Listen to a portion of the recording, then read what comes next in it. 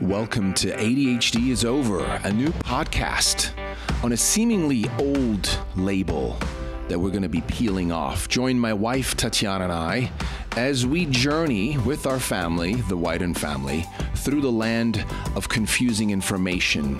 We're going to visit both sides and let you decide because the power is with you. Welcome to ADHD is Over.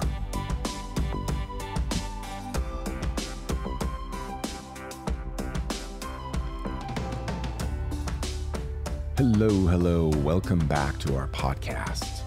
Today is going to be exciting. You're going to be witnessing sort of a retelling of my research, connect your dots kind of excursion down a rabbit hole to finally get to a powerful man that most of you, most likely, haven't heard of.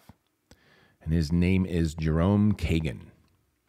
So let's start how I got to Jerome. I had seen a quote on Facebook a while back when I was still on social media. I haven't been now for, gee, probably six or seven months. And it was a post that said, The father of ADHD, Dr. Leon Eisenberg, had said just before his death that ADHD is a prime example of a fictitious disease, right? So this is supposedly the father of ADHD. And this is supposedly the statement that he made just before his death. Well, what I wanted to do with this is go to the fact checkers on what I call the mainstream side. And it doesn't get any more mainstream than Snopes, right? So I decided to go uh, look for this quote and see uh, what Snopes thought. So I'm reading this from a, uh, a Snopes fact checking page, which I will link to, um, you know, in the show notes. And by the way, if you're pro or anti Snopes, it's really besides the point right now. The point I'm trying to make is that if we go to a mainstream narrative type of outlet who fact checks it, you know they're going to be pretty conservative, at least to represent their side. So I figured this would be uh, fairly well fact checked to make you know, to prove that that statement wasn't true. Because let's face it, there's a huge interest behind ADHD as a disorder. And to have the father, the quote unquote father of ADHD, say it's a fictitious disease, uh, you know, uh, they're going to fact check it. So here we go. So I'm on Snopes, and like I said, I will link to this. So again, the, the title is Dr. Leon Eisenberg. ADHD is a fictitious disease, question mark. And, uh, you know, on Snopes, it says rumor Dr. Leon Eisenberg, the father of ADHD, said just before his death that ADHD is a prime example of a fictitious disease. So Snopes went to town, did some research. Again, the claim is that Dr. Leon Eisenberg, the father of ADHD, said just before his death that ADHD is a prime example of a fictitious disease. Well, the rating that Snopes gave it is mostly true. So they're breaking it down to what's true, what's false. What's true? A German to English translation of an interview showed that Eisenberg said something similar to ADHD is a prime example of a fictitious disease. What's false is that Eisenberg, this is according to Snopes, what's false is that Eisenberg was referring to the influence of social and environmental risk factors for the condition. That's interesting because if you've been listening to uh, our podcast here, to past episodes, you know that we're huge on the environment, the influence of the environment on the nervous system and ultimately the brain and the behavior of children. So, what they're saying is what's false is that Eisenberg was referring to the influence of social and environmental risk factors for the condition.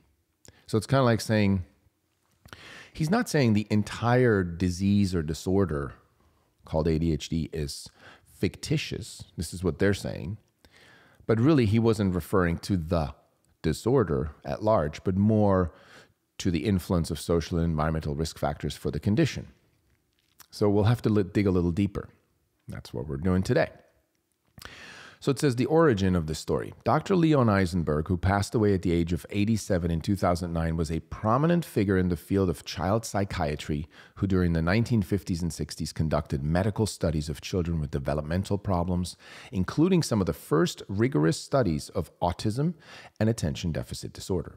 As described by the British Medical Journal, BMJ, Dr. Eisenberg transformed child psychiatry by advocating research into developmental problems. Early in his medical career in the mid 1950s, Leon Eisenberg became fascinated with the childhood mind. Wanting to know more, he broke free from the shackles of the Freudian psychoanalytic dogma that dominated child psychiatry at the time to conduct groundbreaking biologically based research of childhood developmental problems. This research included the first randomized clinical drug trials in child psychiatry. I think what Leon brought to the field was a different way of thinking, thinking out of the box, said David DeMaso, chairman of psychiatry at Boston's Children's Hospital and professor of psychiatry and pediatrics at Harvard Medical School. He was thinking in terms of biology, of evidence based treatment, way before anybody else. He was a biopsychosocial model at a time when psychoanalytical thinking was the norm. Eisenberg's direct involvement as a child psychiatry researcher was over by 1967 when he moved to Harvard Medical School as chief of psychiatry at Massachusetts General Hospital. But in a dozen years, he had helped transform the discipline. So let's go back to ADHD. Although describing Dr. Eisenberg as the inventor or father of attention deficit disorder, ADD and or attention deficit hyperactivity disorder ADHD might be challenged by some as a bit of an exaggeration. He unquestionably contributed a great deal to the body of knowledge on which modern diagnoses and treatment of those disorders is based. Given Dr. Eisenberg's recognized authority and expertise in this field, therefore, those who feel that ADD and ADHD are misused and overemployed diagnoses which serve to Oh, uh, so let me read this one more time. Apologies. That's a long sentence. Given Dr. Eisenberg's recognized authority and expertise in this field, therefore, those who feel that ADD and ADHD are misused and overemployed diagnoses, which serve to excuse bullying and recklessness and offer a sense of alleviation of personal responsibility among those diagnosed, would indeed find validation if Dr. Eisenberg had proclaimed ADHD is a fictitious disease.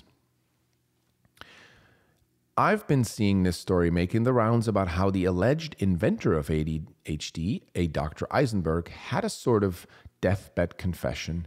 And in an interview with Der Spiegel, it's a German uh, magazine, seven months before he died at 87, said ADHD is a prime example of a fictitious disease. So, Leon Eisenberg, the father of ADHD, is quoted as saying in Der Spiegel, the German uh, magazine, that ADHD is a fictitious disease shortly before his death.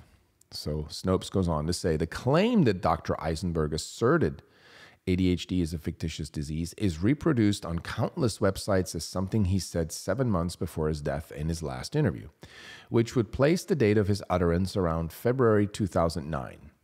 When documentation for the putative quote is provided, it references an article, often described as a cover story, published in the German weekly magazine Der Spiegel on 2nd February 2012.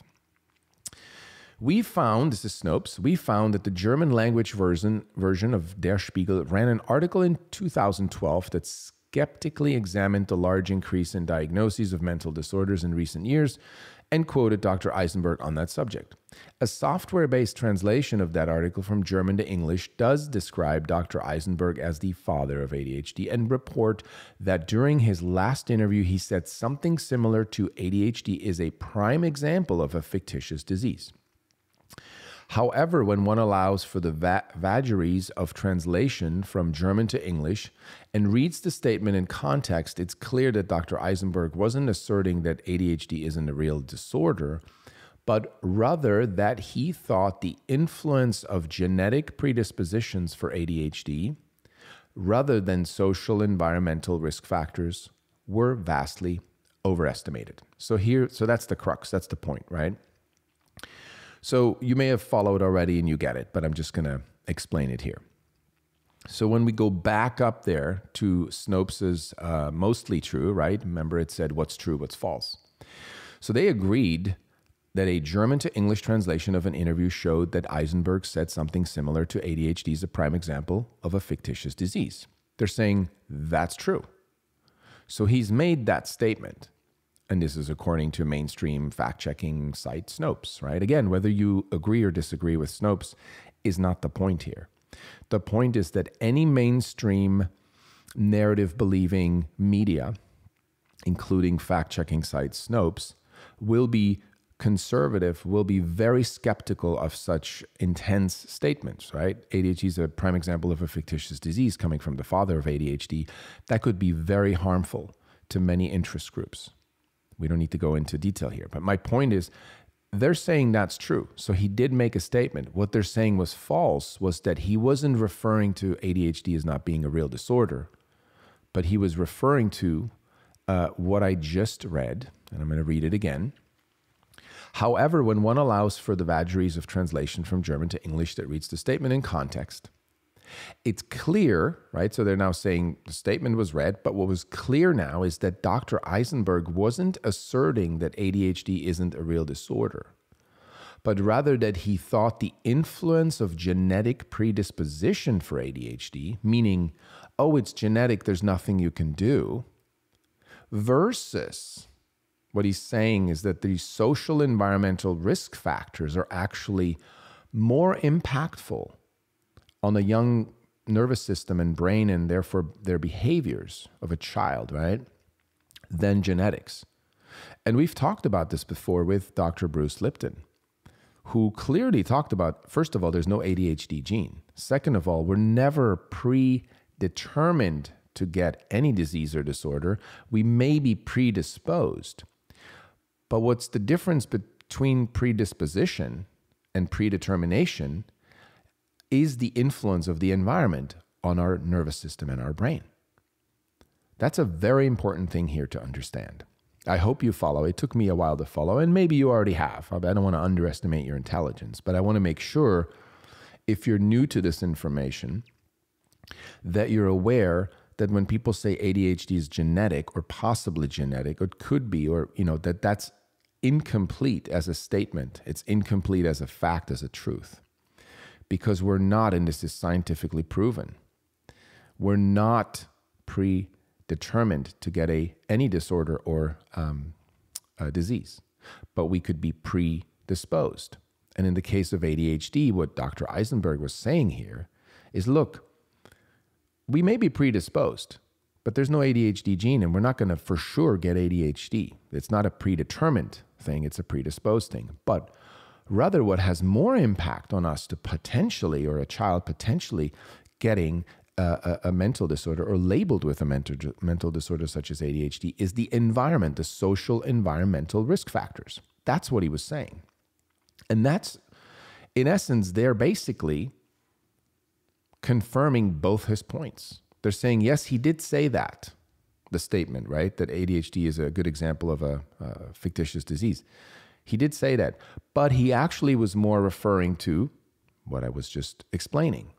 Hence, they're, they're basically confirming everything he said. And to me, again, this is the father of ADHD or the supposed father of ADHD, right? To me, that was like, oh, okay, well, that's good. So I continued reading. One out of every 10, uh, sorry, one out of every 10 10 year old boys already takes an ADHD drug daily. But the scientific father of ADHD has followed the explosion of prescriptions with growing horror. Leon Eisenberg took over the management of psychiatry at the prestigious Massachusetts General Hospital in Boston and became excuse me, and became one of the most famous psychiatrists in the world. In his last interview, seven months before his death from prostate cancer at the age of 87, he distanced himself from his youthful indiscretion. A tall, thin man with glasses and suspenders opened the door to his apartment in Harvard Square in 2009, invited me to the kitchen table, and poured coffee. He said that he would never would have thought this his discovery would someday become so popular. ADHD is a prime example of a fabricated disorder, Eisenberg said. The genetic predisposition to ADHD is completely overrated. Instead, child psychiatrists should more thoroughly determine the psychosocial reasons that can lead to behavioral problems, Eisenberg said. Are there fights with parents? Are there are problems in the family? Such questions are important, but they take a lot of time, Eisenberg said, adding with a sigh, prescribe a pill for it very quickly. On a related note, in August 2012, Der Spiegel English language interview with now retired Harvard psychologist Dr. Jerome Kagan quoted Dr. Kagan as being critical of fuzzy diagnostic practices and the overprescription of drugs such as Ritalin for behavioral problems in children, and as referring to ADHD as an invention.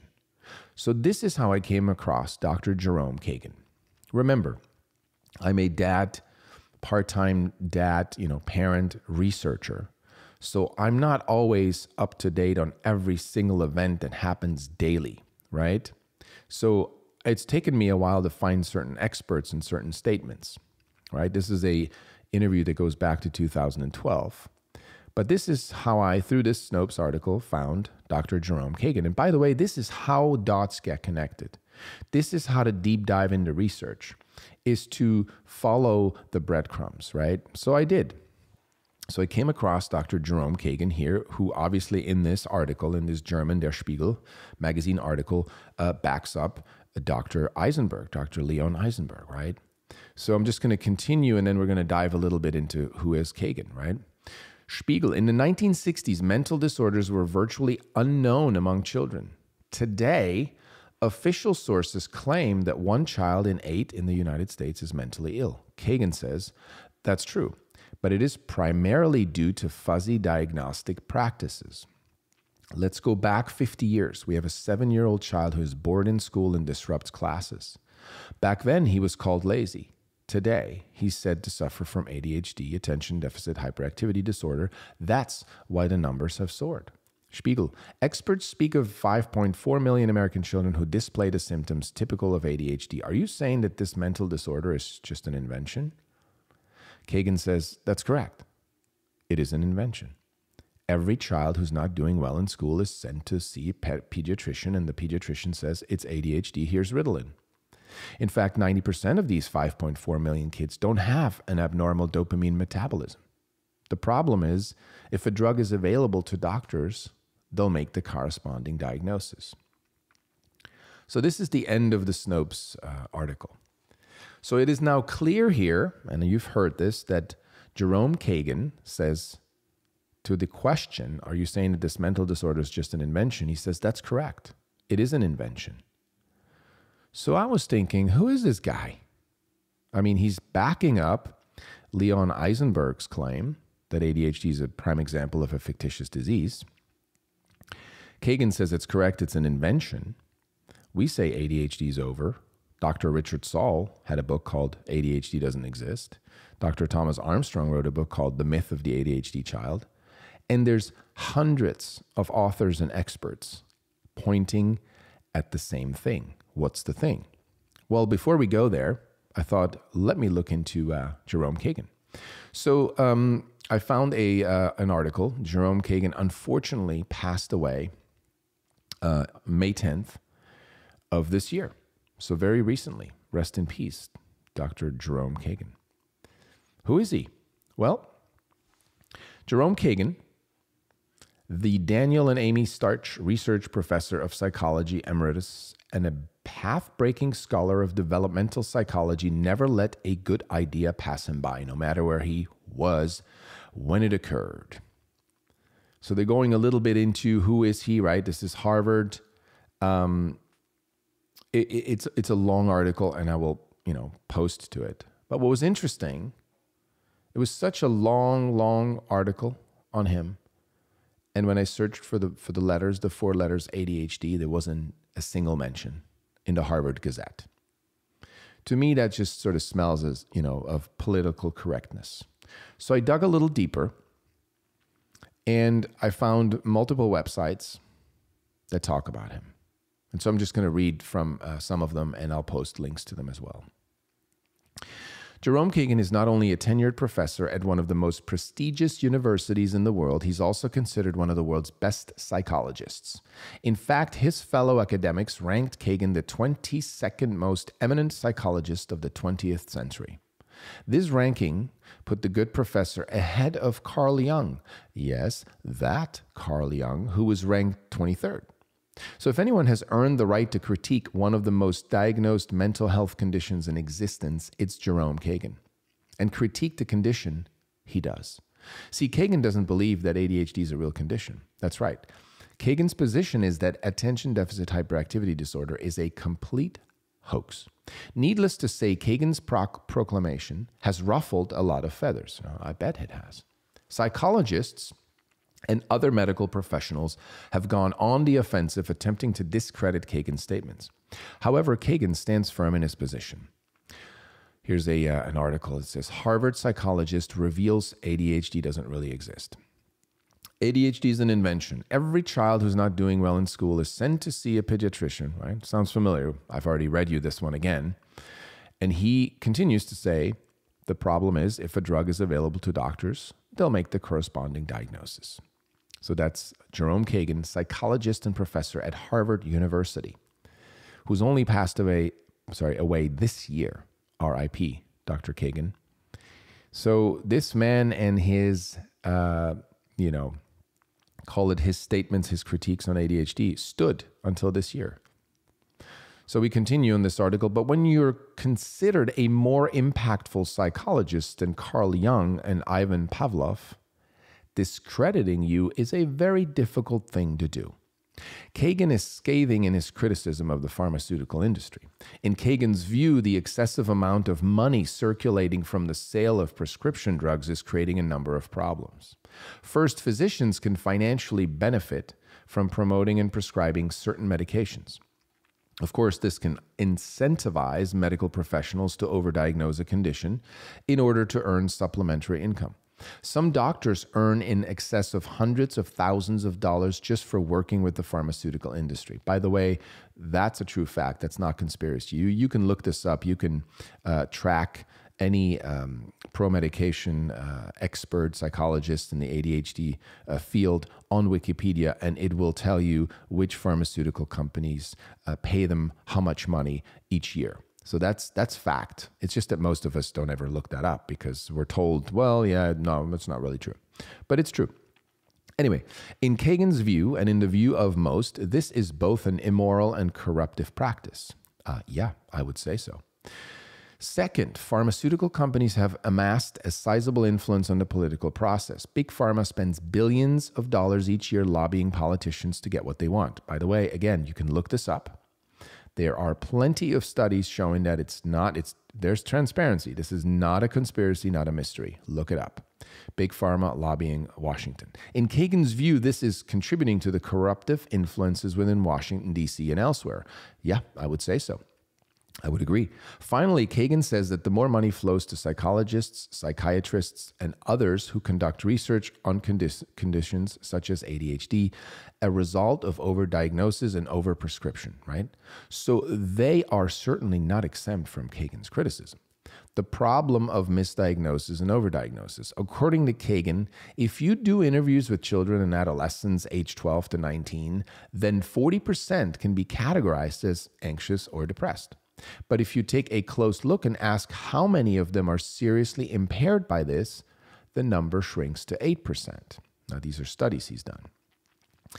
Kagan uses depression as an example here, but he says that misdiagnosis and hence overdiagnosis occurs across an entire spectrum of mental health conditions. In simple terms, not everyone who displays a symptom or behavior has a mental health problem, especially children who are a bit prone to unpredictability. And I like how they put little emphasis on bit, especially children who are a bit prone to unpredictability. Misdiagnosis leads to overdiagnosis, which is, in Kagan's, Kagan's view, a problem plaguing the mental health profession. Looking at the number of children diagnosed with ADHD, it is difficult to disagree. According to the Centers for Disease Control and Prevention, CDC, approximately 11% of children 4 to 17 years of age, at 6.4 million, have been diagnosed with ADHD as of 2011. Now, that's 10 years ago. Kagan also makes the point that most children diagnosed with ADHD fall under one umbrella. Who's being diagnosed with ADHD? Children who aren't doing well in school. It never happens to children who are doing well in school. So, what about tutoring instead of teaching? The answer in Kagan's estimation, a number of big problems exist across the entire field of psychology. Might have been field. Uh, might be an, a typo here. While he is sharply critical of ADHD overdiagnosis, and for good reason, the problems Kagan speaks of span the entire mental health field. As such, there are no simple answers. But Kagan is adamant that mental health professionals must shift their approach to diagnosing ADHD, depression, anxiety, and other disorders. The answer? Hmm, here it comes. Psychiatrists and other mental health professionals need to begin making diagnoses similar to how most other doctors do by looking at the causes, not just the symptoms. Again, this is especially with children who often don't have a great ability or desire to fully explain themselves. Now, I just want to be clear here. I just want to emphasize that. When he says the answer is that psychiatrists and other mental health professionals need to begin making diagnoses similar to how most other doctors do by looking at the causes, not just the symptoms, lots of us may hear that and go, well, yeah, that, of course. But that is not what's so when it comes to ADHD, when it comes to the experts, the psychologists, psychiatrists, or even the public, right? The people who, and, and mostly it's people who have ADHD, who will sort of proudly say, I have it because I have, and then they will mention the symptoms. But what he's saying here, this is, remember, number 22 in the world of most influential ever psychologists ahead of Carl Jung. I mean, that's like a rating, you know, when you rate tennis players, that stuff is rated, and there's a reason why it's rated that way. There's agreement. So he's no small fish, ladies and gentlemen. When he says by looking at the causes, not the symptoms, he's actually pointing to something that I've been saying for years now. I'm standing on the shoulders of giants that we can't self diagnose or diagnose ourselves with symptoms. We have to look at the causes. To me, that is literally the most important thing, the most important oversight to point out here. So uh, Kagan continues, he's un- or this article continues, he is under no illusion that doing so will be easy, right? To look at the, the causes, right? Especially with children who don't have a great ability or desire to fully explain themselves. In fact, when confronted with recent criticism that he's implying mental illnesses are an invention of Big Pharma and others, Kagan goes on the offensive. I love this. Here we go.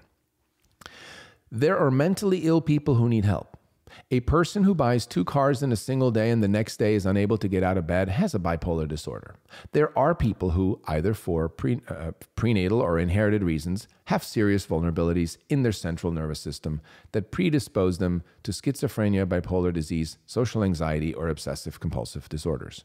We should distinguish these people. In other words, those responsible for administering brain altering drugs to children need to search a little deeper. Doesn't seem like an unreasonable proposition does it now. So that was one, um, you could say, one article. Uh, most of them that I've read are pretty much about the same facts. So I'm not going to go into that. But again, interesting that the Harvard Gazette, right, celebrating his life, or you could say after his death, writing an article on him, was just simply talking about his work in psychology, very general, mentions where he grew up and you know the, some of the studies he's done and the books he's he's written and so forth. But there was nothing on ADHD. Now, when you have a prominent psychologist, one of the top, you know, the top 22nd in the world ahead of Carl Jung, say make such strong statements around ADHD, to me that's a breakthrough. To me that needs to be heard and for that to be not part of his um, memorial article, whatever you want to call it, on, on the Harvard Gazette was a little disappointing. But again, I understand Harvard needs to stay politically correct. I get it. So um, I hope you enjoyed this episode. Um, you know, who is Jerome Kagan? I highly recommend you Google Jerome Kagan, K A G A N. But don't worry, I'm going to list all that stuff for you in the show notes. Uh, what a wonderful man. I mean, you could just see it from his photo on the Harvard Gazette. Um, just a man full of compassion. He fought hard. He really fought hard for the future of our children. And I do feel like I have him, his spirit in my corner because we are out to achieve the same thing. We are out to achieve finally and basically to no longer lab- label children with mental disorders to no longer have them grow up thinking there's something wrong with them, they're broken, their brain is dysfunctional.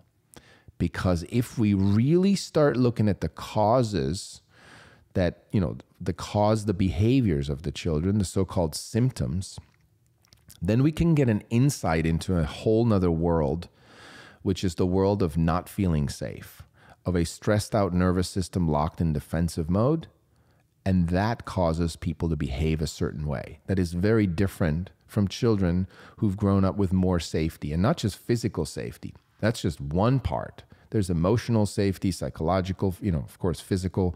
There's many safeties that can stress out a nervous system. And he was pointing at that. And I'm so proud to be able to sort of continue that legacy as a dad researcher and go down the rabbit holes, connect the dots around the true, the real causes of ADHD. Because nowadays we are so used to saying, I have this disorder because of these symptoms. But the symptoms are observed behaviors, and we have to ask, why does a child behave that way? That's where we need to start. And that's basically what he said in so many ways. So, what a wonderful man, Jerome Kagan. Rest in peace. I wish I could have had you on this podcast. I really wish I I would would have had the opportunity, you know. But instead, I, I think I did the best I could to uh, look a little bit into uh, Jerome Kagan and also uh, Dr. Leon Eisenberg, the supposed father of ADHD. So check out the show links if you want to dig in deeper. And uh, thank you for supporting our podcast by being here as a listener. Until next time.